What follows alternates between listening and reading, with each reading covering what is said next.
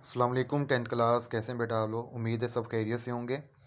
तो last time बेटे हमने chapter number three condition logic में देखा था नेस्टेड सिलेक्शन स्ट्रक्चर कि जिसमें क्या होता था, कोई भी एक conditional logic second condition logic अगर अंदर आ जाती है तो वो नेस्टेड सिलेक्शन स्ट्रक्चर बन जाता था। और इसके लिए बेटा हमने डिफरेंट नेस्टेड सिलेक्शन के सेंटेक्स देखे थे, जिसमें पहला था हमारे पास कि अगर इफ़ के अंदर एक कंडीशन वन है तो उसके एसोसिएटेड कोड में एक और आ जाएगा if condition two is true और उसके पास उसके एक एसोसिएटेड कोड अटैच होता था, जो कि एग्जीक्यूट होता था, अगर if condition two is true होती थी अदरवाइज़ एस वाला एसोसिएटेड कोड एग्जीक्यूट होता था।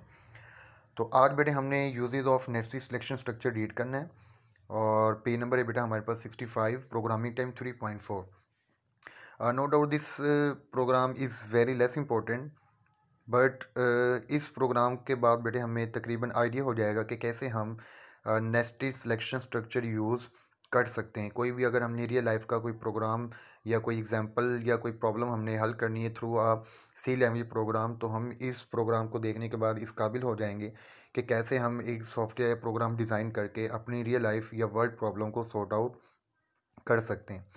तो अब बेटे यहाँ पे programming time three point four है। हमारे पास यूजेज ऑफ़ नेटिस नेस्टेड सिलेक्शन स्ट्रक्चर में और प्रॉब्लम ये है कि हमने एक बिल कैलकुलेट करने का फार्मूला हमें यहाँ पे गिवन है और हमने एक सॉफ्टवेयर बनाना है, एक सी लैंग्वेज का प्रोग्राम लिखना है जिसमें बिल कैलकुलेट किया जाए। अब बिल कैलकुलेट करने के लिए बेटे यहाँ पे फार्मूला हमें ऑलरेडी गिवन है।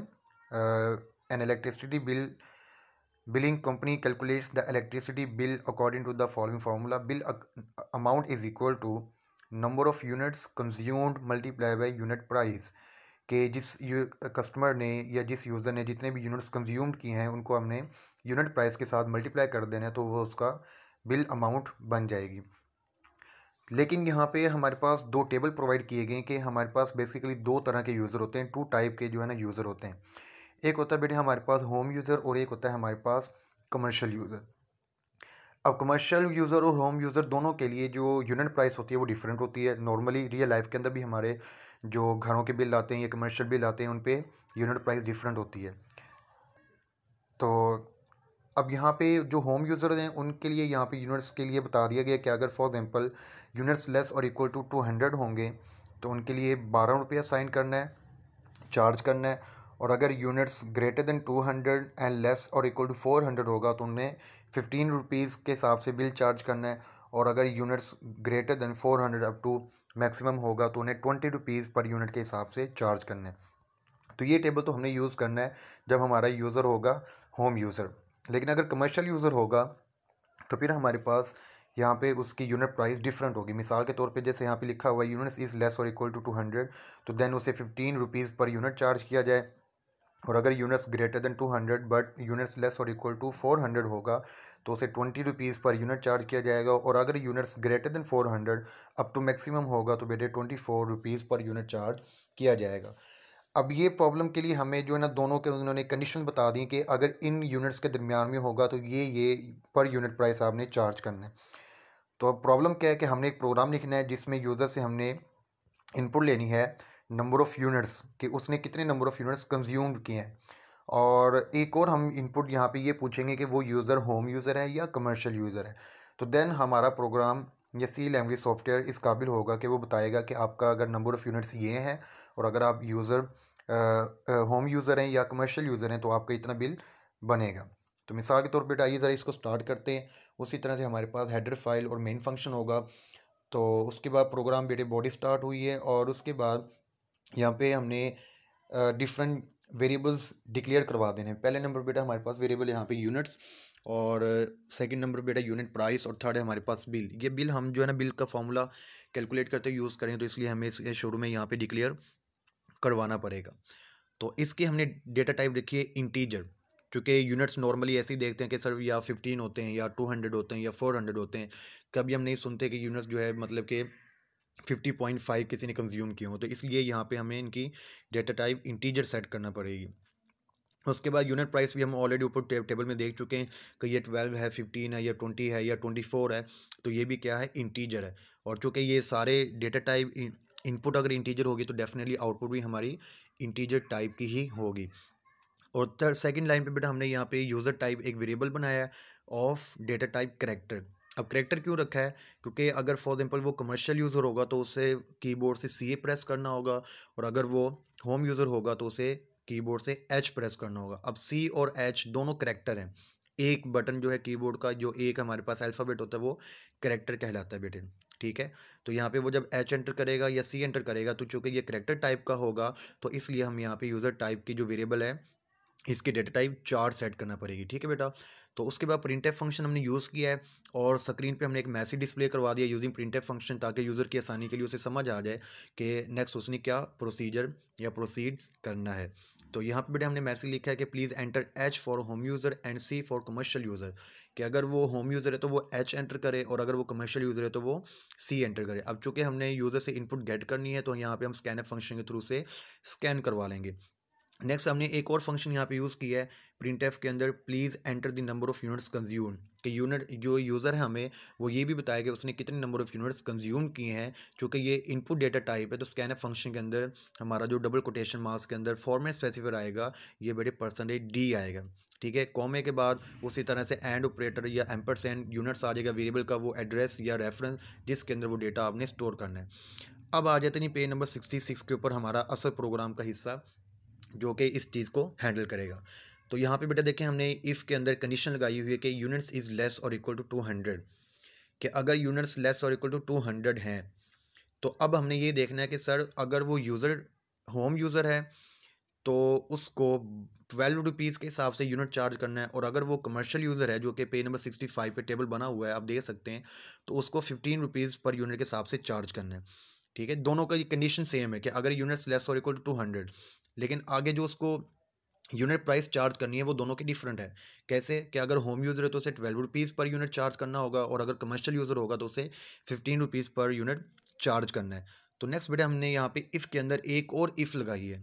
ठीक है, ये बन गई हमारे पास नेस्टी सिलेक्शन स्ट्रक्चर तो नेक्स्ट हमारे पास जो इसके इफ़ के अंदर एक इफ़ लगी हुई है, उसमें लिखा हुआ कि if user type equal equal H अब चूँकि यूज़र टाइप भी हमारी इनपुट करेक्टर टाइप की थी तो हम करेक्टर को करेक्टर के साथ कंपेरिजन कर सकते हैं।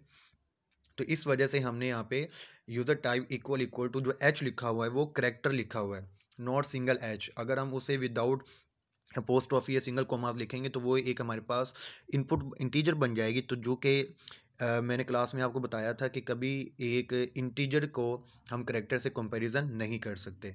तो यहाँ पे बेटे वो ये कंपैरिजन कर रहा है कि अगर यूज़र टाइप एच है मीन्स के होम यूज़र है तो unit price is equal to twelve कि यूनिट प्राइस जो है वो मेमोरी में ट्वेल्व सेट कर दी जाए। अभी यहाँ पे जस्ट यूनिट प्राइस ली जा रही है।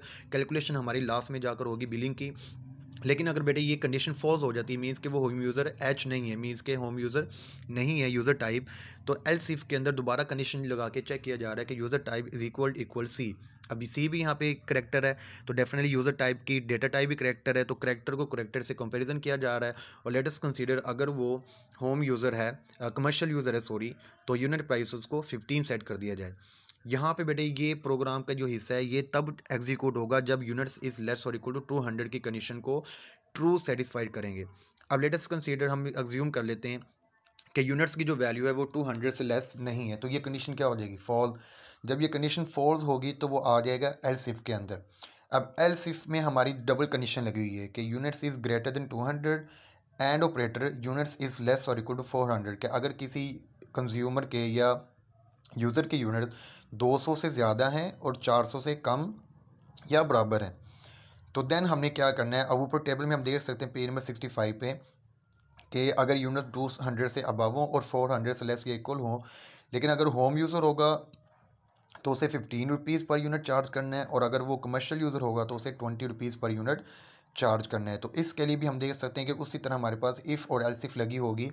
तो जहाँ पे उसने फिर अगेन कंपैरिजन किया user type equal equal H तो यूनिट प्राइस उसको फिफ्टीन असाइन कर दी जाए। और अगर user type equal equal C means commercial user है तो उसको यूनिट प्राइस ट्वेंटी सेट कर दी जाए। लेटेस्ट कंसीडर अब हम ये अज्यूम करते हैं कि ना तो वो यूनिट्स टू हंड्रेड से लेस है, ना वो यूनिट्स दो सौ और चार सौ के दरमियान है, वो इन दोनों कंडीशंस को फॉल्स कर देते हैं। तो ये बेटे आ जाएगा एस के अंदर, जो सबसे लास्ट में हमारे पास एस लगा हुआ है। अब डेफिनेटली अगर किसी यूनिट्स कंज्यूमर या यूज़र की यूनिट्स चार सौ से ज़्यादा हैं तो ऊपर वाले table page number sixty five में हम देख सकते हैं कि अगर वो होम यूज़र होगा तो उसे twenty rupees per unit charge करना होगा और अगर वो कमर्शियल यूज़र है तो हम उसे twenty four rupees per unit charge करेंगे। तो एल्स के अंदर आके बेटे दोबारा यहाँ पे एक इफ़ और एक इफ़ एल्स लगी हुई है जहाँ पे हम दोबारा यूज़र टाइप को कंपेरिजन करेंगे होम यूज़र के साथ और कमर्शियल यूज़र के साथ। तो होम यूज़र के साथ कंपैरिजन करेंगे तो यूनिट प्राइस उसके फिफ्टीन असाइन कर देंगे और अगर वो कमर्शियल टाइप का होगा मीन्स के user type equal equal C वाली कंडीशन ट्रू होगी तो यहाँ पे उसको unit price twenty four assign कर दी जाए। ये बेटा हम हमारी मेमोरी के अंदर यूनिट प्राइस सेट हो चुकी है। ठीक है, अगर ये उसके यूनिट टू हंड्रेड से लेस थे तो ऊपर वाली कंडीशन के अकॉर्डिंग बारह रुपये अगर वो होम यूज़र था और अगर कमर्शियल यूज़र था तो उसे फिफ्टीन रुपये असाइन कर दिए। लेकिन अगर वो टू हंड्रेड से ज़्यादा या फोर हंड्रेड से लेस था तो उसको यूनिट प्राइस होम यूज़र था तो फिफ्टीन रुपीज़ और अगर कमर्शियल यूज़र था तो ट्वेंटी रुपीज़ लास्ट वीडियो हमने ये किया कि अगर फॉर एग्जांपल फोर हंड्रेड से ज़्यादा है तो होम यूज़र था तो फिफ्टीन रुपीज़ और कमर्शियल यूज़र है तो twenty four rupees per use unit हमने उसको चार्ज कर देना है। ये बेटे आई थिंक तो ना यहाँ पे थोड़ी सी मिस्टेक है और मिस्टेक ये है लास्ट वाले एल्स के अंदर if user type equal equal H तो यूनिट प्राइस यहाँ पे फिफ्टीन नहीं बल्कि यूनिट प्राइस यहाँ पे ट्वेंटी आएगी, ठीक है? ऊपर वाले टेबल के अकॉर्डिंग अगर होम यूज़र के यूनिट्स फोर हंड्रेड से अबव हों तो उसे twenty rupees per unit charge किया जाएगा। ये पेज नंबर सिक्सटी फाइव पे आप प्रॉब्लम के अंदर जो कंडीशन दी गई है, उसमें भी यूनिट टेबल के अंदर देख सकते हैं। तो काइंडली इसको अपनी बुक्स के ऊपर भी करेक्ट कर लीजिएगा। अब यहाँ पे बेटे हमारी वैल्यूज़ यूनिट प्राइस जो है मेमोरी में सेट हो चुकी है। तो लास्ट बेटे हमने यहाँ पे फॉर्मूला लगाना है, क्योंकि यूनिट्स हम यूज़र से ऑलरेडी शुरू में ही गेट करवा चुके हैं। पेज नंबर सिक्सटी फाइव का लास्ट वाला फ़ंक्शन आप देख सकते हैं। स्कैन फ़ंक्शन के अंदर हमने यूनिट्स यूज़र से गेट किए थे और मेमोरी में स्टोर करवा लिए थे। अब यूनिट प्राइस भी बेटा हमारी मेमोरी में स्टोर हो चुकी है तो यहाँ पे हम bill is equal to units multiply by unit price कि जितनी नंबर ऑफ़ यूनिट्स हैं, उनको यूनिट प्राइस के साथ मल्टीप्लाई करके बिल कैलकुलेट करके मेमोरी में बिल वाले वेरिएबल के अंदर स्टोर कर दिया जाए। अब बेटे यहाँ पे बिल हमारा हो गया कैलकुलेट लेकिन हमने इसको क्या करना है स्क्रीन पे डिस्प्ले करवाना है एज आउटपुट तो प्रिंट एफ़ फ़ंक्शन यूज़ करेंगे और यहाँ पे बेटे एक मैसेज पास किया हमने your electricity bill is percentage D double question marks को क्लोज करेंगे, कॉमा, और वो वेरिएबल पास कर देंगे जिस वेरिएबल में आपका वो डेटा या रिज़ल्ट स्टोर्ड है।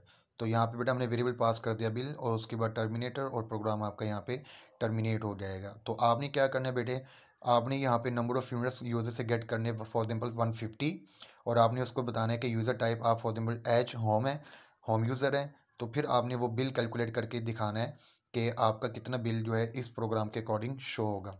एक बार और फिर आपने इस प्रोग्राम को एग्जीक्यूट करना है। तो आपने यूनिट्स दोबारा 150 लेने लेकिन आपने इस बार यूज़र टाइप कमर्शियल एंटर करनी है तो फिर देखिएगा आपका जो इस बार बिल बनेगा, वो पहले वाले से डिफरेंट होगा।